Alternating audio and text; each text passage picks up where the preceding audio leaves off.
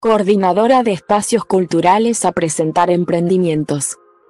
La Coordinadora Plurinacional de Espacios Culturales de Gestión Independiente en Bolivia lanzó una convocatoria para emprendimientos culturales. Con miras a un encuentro nacional que permita elaborar un plan de acción conjunto. La organización, que aglutina más de 70 espacios culturales en seis departamentos del país, habilitó un formulario virtual en su página de Facebook, para que gestores culturales, artistas y particulares registren sus propuestas.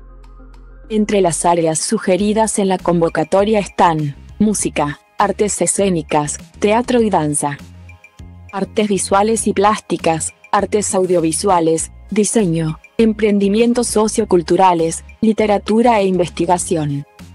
Según el comunicado emitido ayer, los proyectos serán presentados en dicho evento, donde además se discutirá sobre la problemática que enfrentan las llamadas economías culturales. Nos articulamos para un accionar colectivo que permita la discusión sobre políticas culturales y enfrentar nuestra precaria situación actual, indica la invitación.